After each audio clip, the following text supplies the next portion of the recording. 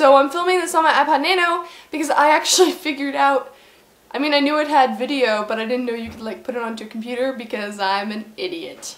Also, I have a coin purse with pandas on it.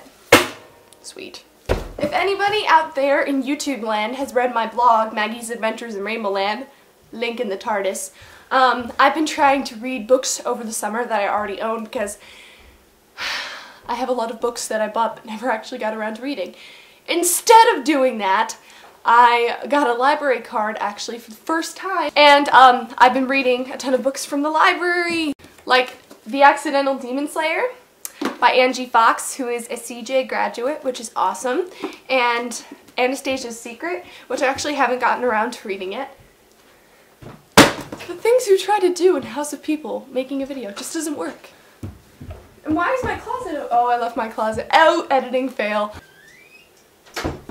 Anyway, so I invite you all to go to your local library and read along with me. Leave in the comments below what you're trying to read in, the, in your last days of freedom before school. And also, I want to know how, how are your first days of school going? A lot of people are already there, and I'm here, I'm here for support.